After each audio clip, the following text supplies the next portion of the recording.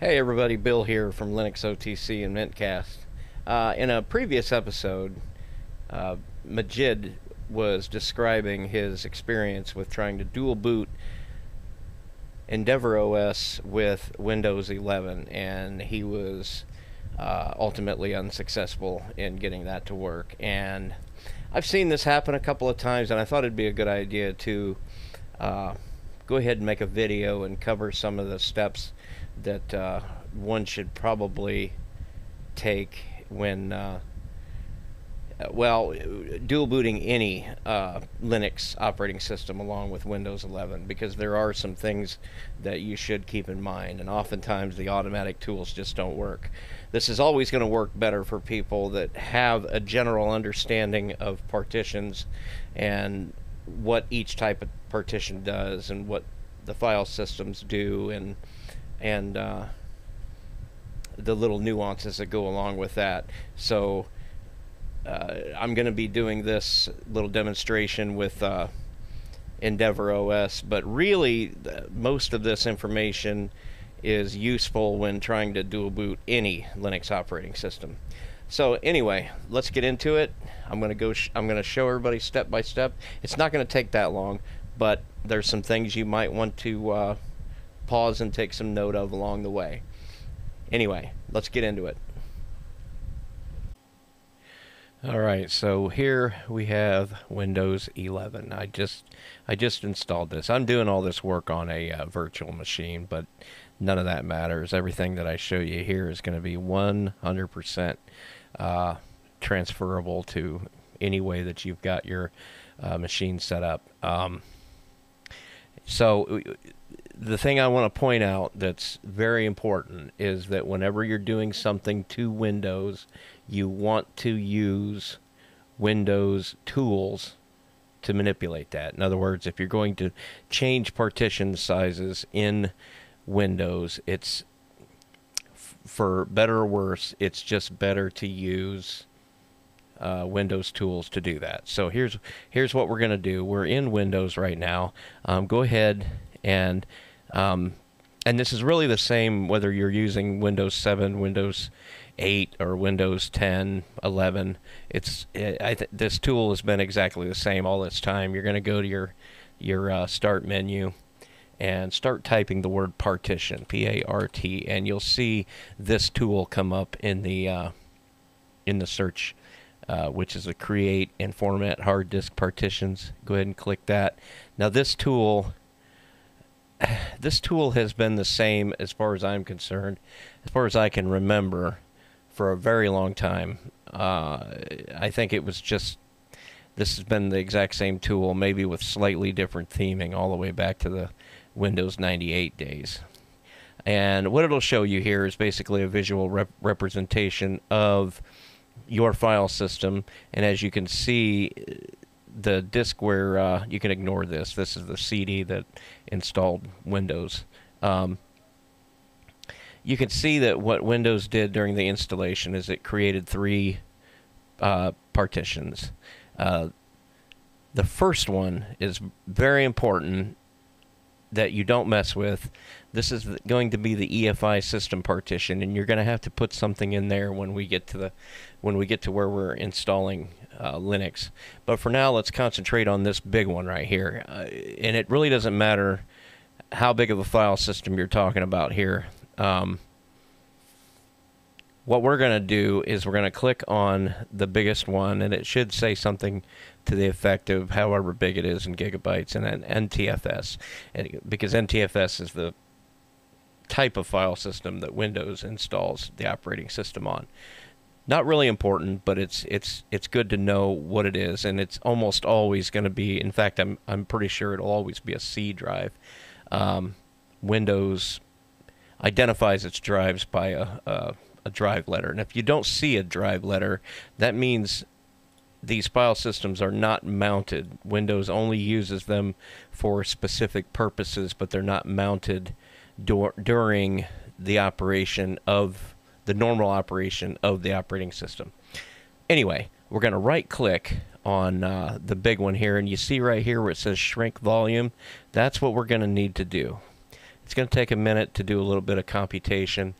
Um, what I want to do is I just want to create, I don't know, let's create a uh, 100 megabyte uh, partition. And if you want to, if you're not sure what that is in, uh, or a 100 gigabyte partition, if you're not sure what that is in megabytes, just go ahead and bring up your uh, calculator and just multiply 100 times 1024 because there's 1024 uh, megabytes in a gigabyte 1024 you know that going on down the line equals and that's 102,400 megabytes so uh, let's go ahead and copy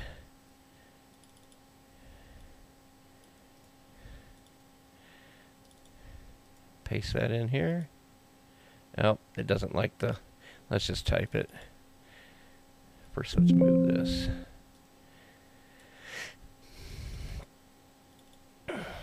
One oh two. Well, okay. It doesn't like the number pad either. One oh two four oh oh. All right, and then shrink. And if you're using an SSD, it only takes a second or two, and boom, now you've got 100 gigabytes of space in which to put your Linux operating system. And in most cases, um, that's plenty of room to get started with. Now, you're you know, this is an arbitrary number. Um, you're you're very likely going to be working with much bigger numbers than this if you're wanting to uh, if you've got a big old hard drive and it's got like a terabyte or something, then you could. It, it's up to you. You know, what, what is your use case? If you got more use for Windows than you do for uh, Linux, then you know think about how much space you need. You know, and and if you have a question, you know, get get with me uh, on that, and I can help you decide what uh, what sizes could be more appropriate for you for your use case. But in this case, I've uh, shrunk the whole thing down. Now there's 399.13 gigabytes for Windows and 100 gigabytes for Linux. Now, that's done. I don't have to do anything else in Windows. Let's go ahead and shut that down. And I'm going to reboot into the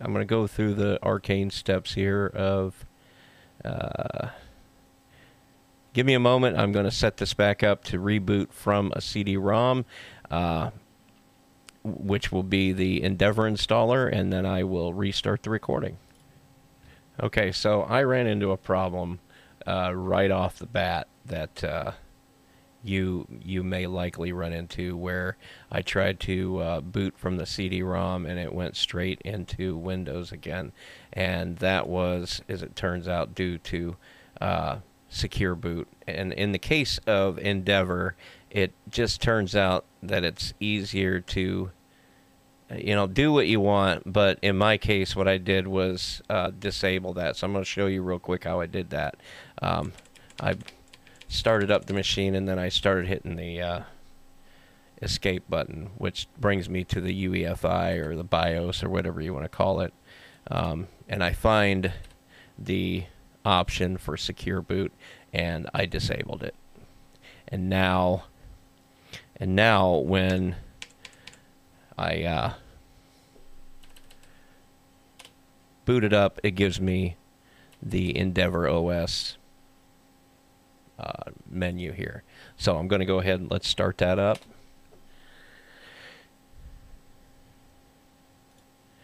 Now, as you can see, we have a working Endeavour OS desktop. So, all right, you're in a live environment now, and that's great, but we want to get this installed. So let's go ahead and start the installer. Um, just for the sake of this, to keep it kind of short, I'll do the offline installer, which just gives you the KDE Plasma desktop and some basic stuff, and you'll have to run your updates uh, accordingly afterwards. So you know, most things are going to be the same right up until we get to. Okay, so here's the first thing. You should be able to get systemd boot to work, but for some reason it just seems to work better with grub. So let's go ahead and select grub. Let's get to this point. Now here is the next thing we need to keep, uh, the next thing we need to do. Manual partitioning. So cl uh, click on manual partitioning and go to next. All right. So now it's showing you, this is a bit of a different uh, graphical representation of the uh, of the space on the disk. And right here it's showing the free space. This is that 100 gigabytes of free space that we created in Windows. So what we're going to do, let's go ahead and double click that. ext4, yep, that's fine. Now we're going to set that as a mount point for root, which is just slash nothing. And uh, you also want to put a root flag right here. That's the only flag you want to give that is root. Hit OK. All right. The next thing we want to do is find that ESP, that that uh, EFI system partition that we saw earlier that was only 100 megabytes. That's really small. So normally, if you was to create a boot partition when installing uh, Linux, you would create like 500 megabytes or something like that, and it would be big enough to go ahead and put not only the EFI system partition but also the uh, init image and the uh, uh, Linux kernel in there as well. But this is only 100 megabytes, so we want to be real careful not to overload that. Now, the other thing we want to make sure we don't do is reformat it. So right here it says content, and leave that on keep. Now, file system FAT32 because we're not going to change we're not going to change the file system on there. What we are going to do is mount that to slash boot slash EFI. And that's really it. It automatically picked the boot flag for us right here. Hit OK. Now, we are set up. Now you know you as you move on and you get more comfortable with partitions you might want to take you might say yeah well you know i really don't want to just have one root partition. I want to have a par root partition and uh, then a home partition maybe a var and uh, i don't know. There's all kinds of partition schemes people go with but for the sake of keeping this simple we will uh, we'll, we'll just create one root partition, and then we will mount the EFI system partition to boot slash EFI. That way, the only thing that Linux will write to that small 100 megabyte partition is the information that the UEFI needs to know in order to boot the system. So we'll go on to next, just create a name, um, and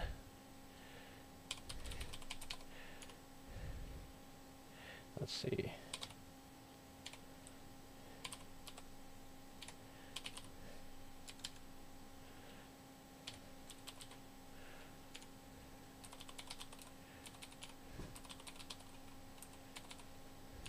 I'm going to go ahead and set this up to log in automatically without asking. And right here it will show you uh, basically a before and after representation of your file system. So you can see that we're not going to reformat SDA1, which in this case is our EFI system partition. The only thing we're going to change is we're going to take the free space and we're going to turn that into Endeavour OS. So go ahead and install. And I'm going to go ahead and pause the video and be right back when it's done.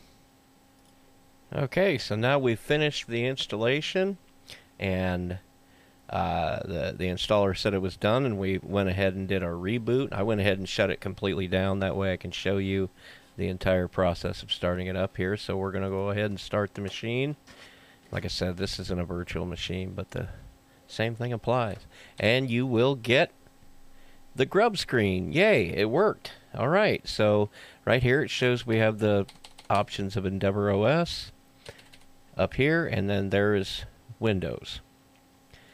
So we'll go ahead and choose Endeavour OS and see if it boots correctly.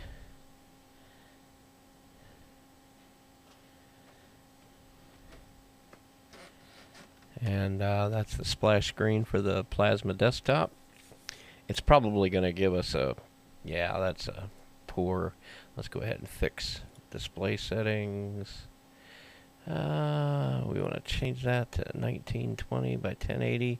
Uh, that's not necessarily best for your machine, but for this particular one, that's the type of monitors I'm using. Okay, so that's done. Now, Endeavour OS gives you some options here, um, which, uh, you know, there's some stuff, you know, that's, this is all specific to Endeavour OS, but, uh, the thing I want to make clear is those steps that I went through with you, um, they're going to help you uh, in pretty much any Linux distribution that you go and dual boot with uh, Windows 11. All right, so we're back in Windows here because I wanna I wanna point out a couple of things that are um, they're helpful that uh, a couple of helpful steps when you do finally get both operating systems up and running. Um, the resource I want to point you towards here is in the Arch Wiki. It is this particular page here, uh, dual boot with Windows, and it really is. Um, it gives you some really good ideas for uh, making sure that uh, uh making sure that you end up with a system that runs well both with the uh, Linux side and the uh, Windows side. Now,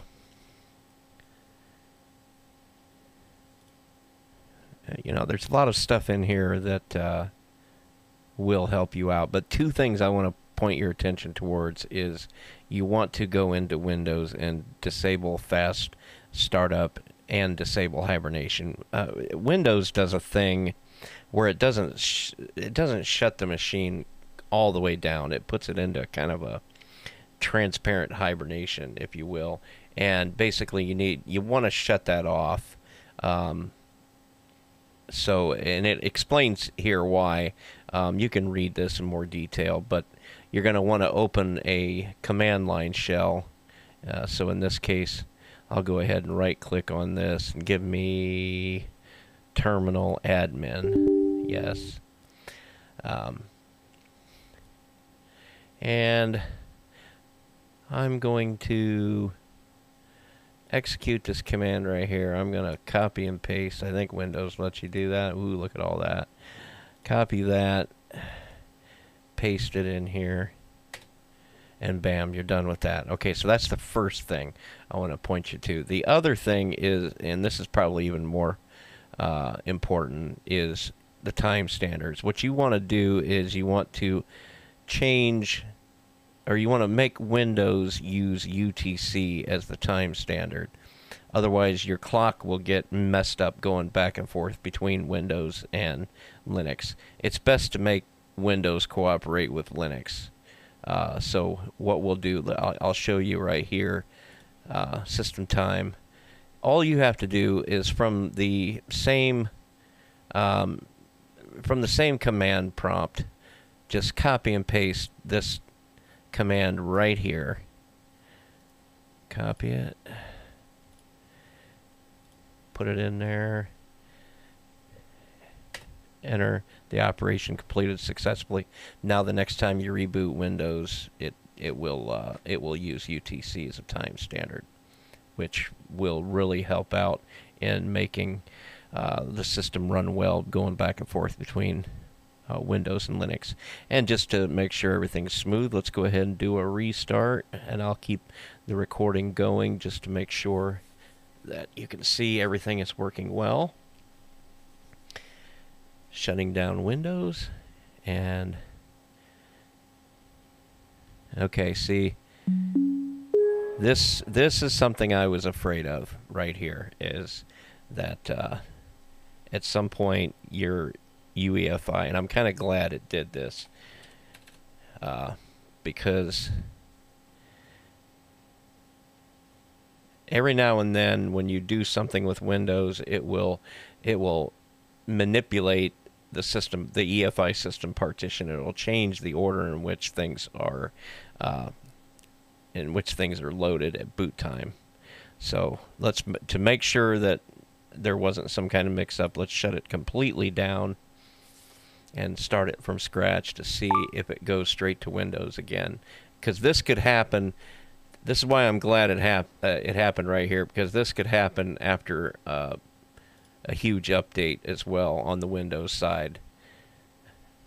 Yeah, see, it's going straight to the Windows Boot Manager.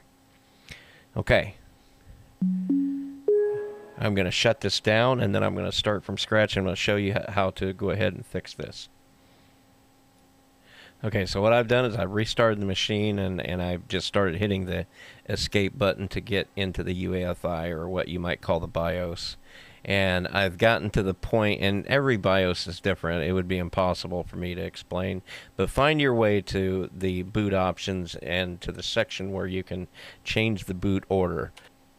Because right here is where things went awry. It it basically moved things around. So let's go right here, change boot order. As you can see, if you look at this list, I'm going to go into, if you look at this list, it put Windows Boot Manager at the very top.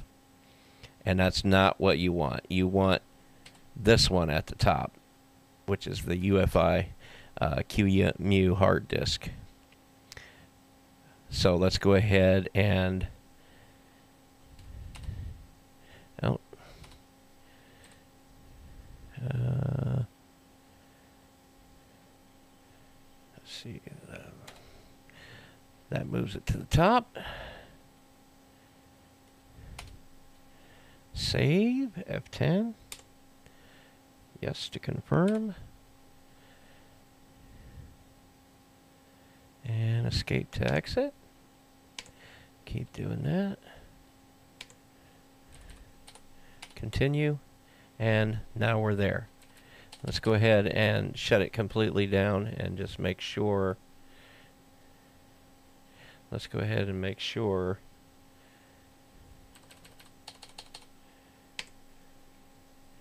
Well, now I don't have my mouse right now, so. Alright, we'll go ahead and start up Endeavour then.